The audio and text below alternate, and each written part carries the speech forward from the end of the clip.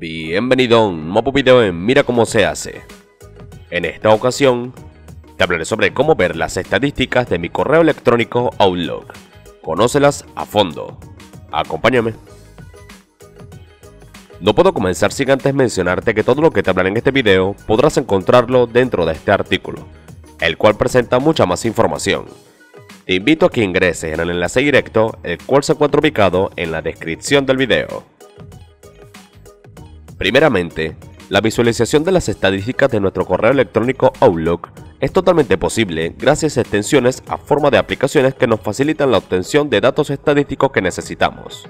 Hoy miraremos uno de ellos, el cual es Outlook Freeware, un software de shareware, el cual es un software comercial que se distribuye gratuitamente a los usuarios, ya sea en un formato ilimitado o en una versión de prueba que caduca mediante pasa el tiempo de utilización. En este caso, se posiciona en la categoría de misceláneos y es desarrollado por Relief Software.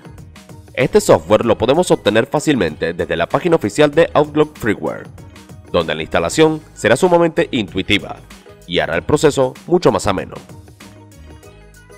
Ya cuando poseamos el software presente en nuestro sistema operativo, pues vamos a ejecutarlo.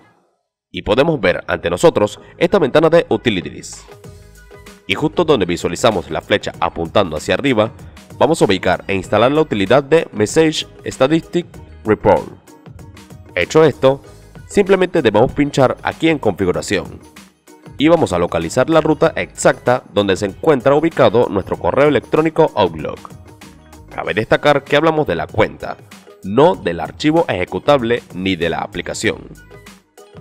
Localizado esta, vamos a desplegar la lista de carpetas, donde podremos escoger la de nuestra preferencia para visualizar los datos estadísticos filtrados.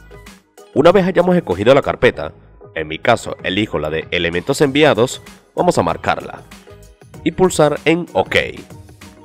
Y al seleccionar Run, podremos mirar cómo el software se encarga de arrojarnos los resultados estadísticos que buscábamos. Esto lo podemos hacer con cada carpeta, te invito a seguir mirando cómo se hace.